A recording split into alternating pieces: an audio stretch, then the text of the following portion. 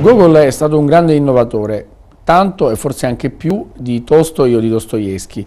Ha innovato e creato un genere che quello della satira è comunque la rappresentazione romanzesca del potere dissacrandolo. Ha anticipato una tendenza che poi sarà di, di Bulgakov molti più anni dopo e eh, soprattutto quella della letteratura eh, mitteleuropea che ci ha lasciato grandi ritratti. Con Gogol nasce e rinasce, potremmo dire, il genere della satira che è figlio della letteratura latina, quella di Orazio, di Giovenale, appunto delle satire, ma in un modo del tutto nuovo, un modo anche poetico e profetico che farà strada.